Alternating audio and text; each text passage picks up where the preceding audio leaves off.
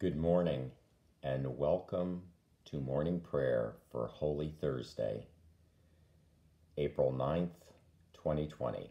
I am Deacon Dennis Holly from Sacred Heart Catholic Church in Richmond, Virginia. Let us pause for a moment to recognize that we are in the presence of God.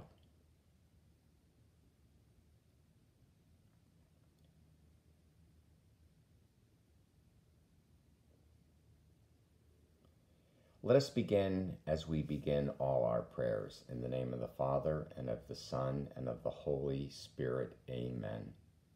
O Lord, open my lips, and my mouth will proclaim your praise.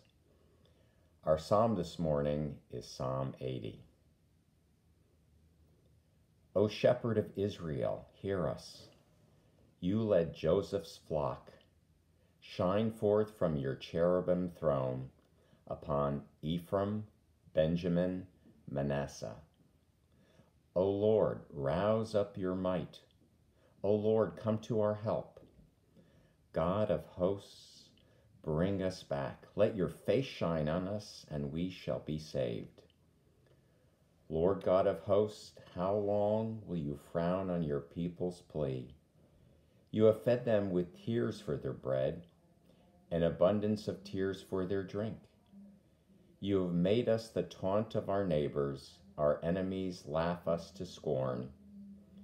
God of hosts, bring us back. Let your face shine on us, and we shall be saved. You brought a vine out of Egypt. To plant it, you drove out the nations.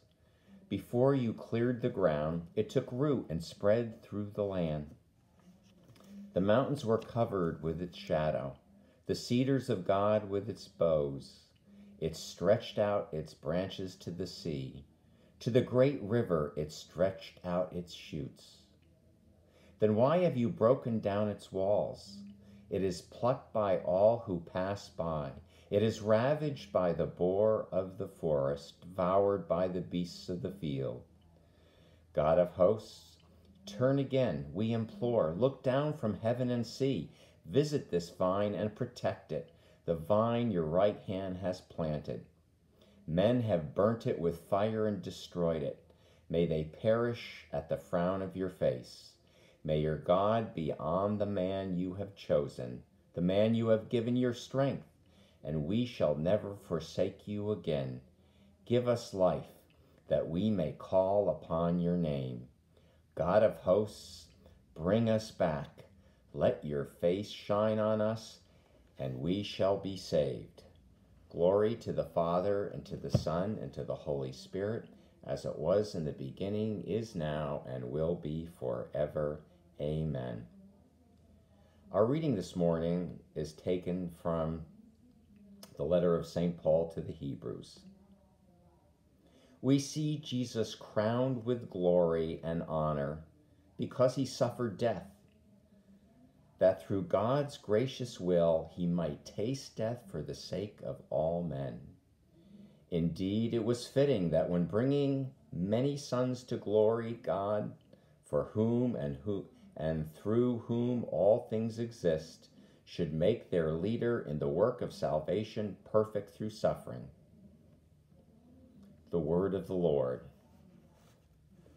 Thanks be to God. This morning I'll reflect on our psalm, Psalm 80. Have you prayed in times of desperation? What were the results of those prayers? Psalm 80 was a prayer of desperation but not despair. The tone of the psalm revealed a weak Judea ravaged by its neighbors. This was the situation during the reign of the king of Judea, King Josiah. The Assyrians had swept away the northern kingdom of Israel. The southern kingdom of Judea had been whittled away to the city state of Jerusalem. The priest cantor cried out to Yahweh so he would restore the former glory of the kingdom. In the beginning of the psalm, the cantor implored the shepherd of Israel to reveal himself to the areas of the northern kingdom of Israel and some of the lost regions of Judea. Noticed revelation, power, and salvation were synonymous. As Yahweh revealed himself, he would show his power and save his people.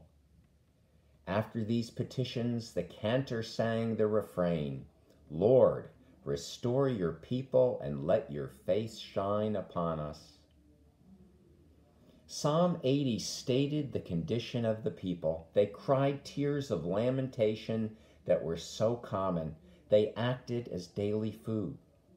They lamented, Why us, O Lord? The nation was weak, its reputation was ridiculed. Why us, O Lord? In our psalm, the analogy of the vineyard described the activity of the God and the glory of Israel. God brought the people out of Egypt and planted them in Canaan. The nation grew in power and prestige. It reached its height under Solomon and describe the downfall of the nation whose enemies attacked and ravaged the land. The psalm ended with a prayer for restoration and returned to the theme of revelation and power. O Lord, return and fight against our enemies. Part of that restoration was a strong monarchy. In response to the restoration, the cantor promises the fidelity of the people. Psalm 80 was a prayer that grew out of desperate times, but not times of despair. It is not an inward reflection on hopelessness but a cry to the Lord for help. The psalm looked forward to better days when the Lord would restore his people. We too look forward to times of happiness post COVID 19. We look forward to the return of our Lord in glory. How can times like our Holy Week restore your spirit?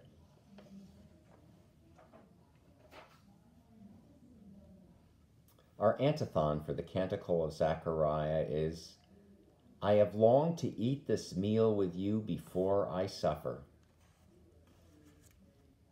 Blessed be the Lord, the God of Israel. He has come to his people and set them free. He has raised up for us a mighty Savior, born of the house of his servant David. Through his holy prophets he promised of old that he would save us from our enemies, from the hands of all those who hate us he promised to show mercy to our fathers and to remember his holy covenant. This was the oath he swore to our father Abraham to set us free from the hands of our enemies, free to worship with him, with him without fear, holy and righteous in his sight all the days of our life. You, my child, shall be called the prophet of the Most High, for you will go before the Lord to prepare his way to give his people knowledge of salvation by the forgiveness of their sins. In the tender compassion of our God, the dawn from on high shall break upon us, to shine on those who dwell in darkness and the shadow of death. Glory to the Father, and to the Son, and to the Holy Spirit, as it was in the beginning, is now, and will be forever. Amen. I have longed to eat this meal with you before I suffer. Our petitions this morning, our response will be Guide us to your truth, O God. Ever present God, without beginning or end, you fashion all humankind in your image and likeness. We pray, Guide us to your truth, O God. Clothe Pope Francis, bishops, and all church ministers with holiness and every gift of the Spirit Guide us to your truth, O God. Impel your church to seek out the poor, the lost, and the hurting. Guide us to your truth, O God.